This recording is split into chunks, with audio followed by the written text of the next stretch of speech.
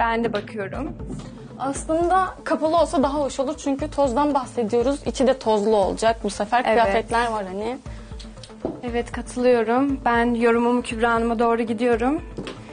Kübra Hanım giyinme oda fikri çok güzel gerçekten. Hoş da görünüyor ama birkaç eksik var. Mesela ışık yok, karanlık gözü kapalı Evet. ne bulsanız onu mu giyiyorsunuz? Evet ışığım düştü yere avize ve patladı. O yüzden şu anda takabileceğim bir avize Anladım. olmadığı Peki için. nasıl giyiniyorsunuz? Şu anda mı? Evet. İki gün önce düştü zaten. İki gündür, gündür şu anda giymiyor telefon musunuz? flash, telefonun flaşıyla şu anda giyiniyor. He. Takılacak.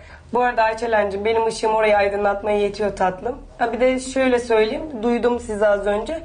Toz oluyor ya da kapaklı olsun demiştiniz.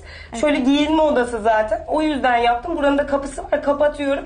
Orası ayrı bir boyut. Burası ayrı bir boyut. Tamam da orada giyiniyorsunuz yani Evet. sonuçta illa ki toz oluyor. Evet. Oradan Ben alıp izin banyoya mı vermiyorum Ben zaten. konuşmak, Hayır yorumlamak zaten ister miyim temizliyorum.